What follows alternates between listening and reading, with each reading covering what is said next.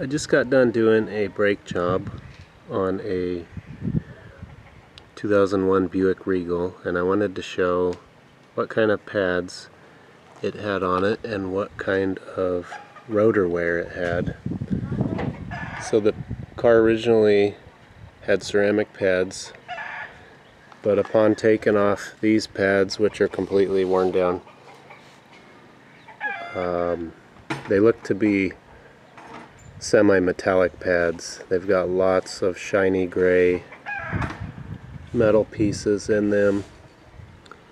And these brand new pads, they're for something else, but they are known to be semi-metallic pads and you can see they have a similar appearance. They've got light gray speckles all through them uh, here you can see, whoop, where is it?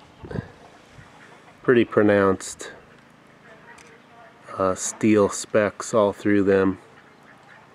And by comparison, the new ceramic pads that I put on this car, they looked much different. They just had tiny little copper flakes in them and they had more of a dull fuzzy appearance to the pad material. Anyways, what I found was uh, the rotors have this deep channel worn into them. I don't know how many sets of pads have been on these rotors, but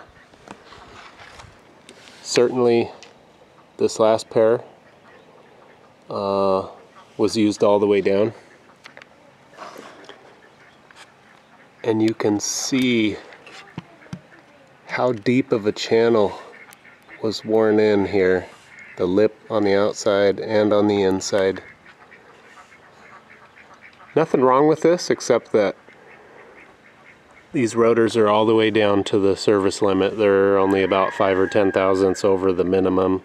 So the part store won't even turn them because by the time they're done turning them they'll be too thin. So these are junk. Uh, anyway, just wanted to show the wear pattern on these rotors after some semi-metallic brake pads.